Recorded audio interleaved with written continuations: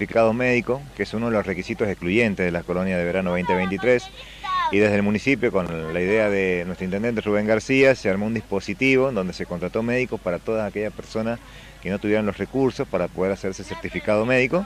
Y hasta acá la verdad que es un éxito, ya llevamos alrededor de 1.200 certificados emitidos entre lo que son los niños de 6 a 12 años, gente con discapacidad y también adulto mayor. ¿Desde qué hora, desde qué hora han arrancado? Hemos arrancado a las 8 de la mañana y estamos hasta las 13. Mañana sábado, el último día, que también el mismo horario, de 8 a 13 horas. ¿En qué consiste la revisación? La revisación, bueno, el protocolo básico de revisación, el tema de oído, pediculosis, el tema de hongos, eh, si respira bien, el doctor le pone este, para ver el corazoncito, así que la verdad que bastante bien. Los niños lo han tomado bien, los papás también lo han tomado bien, así que estamos contentos.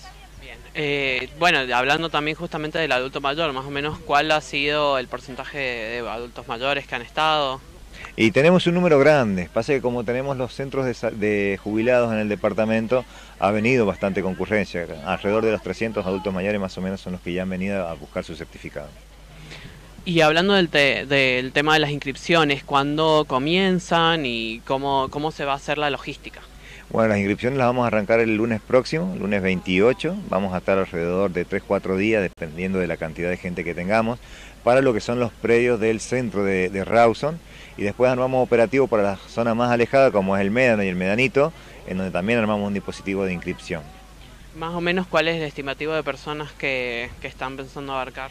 Y tenemos un cupo que nos ha dado el Ministerio de Desarrollo Humano de 2.000 personas. Este, así que ese es el cupo inicial que tenemos. Después, bueno, gestiones que se hacen para ver si podemos incrementarlo un poquitito, porque bueno, ser uno de los departamentos más grandes, como que el cupo queda un poco chico para la población. Muchísimas gracias. No, por favor, a vos, hasta luego.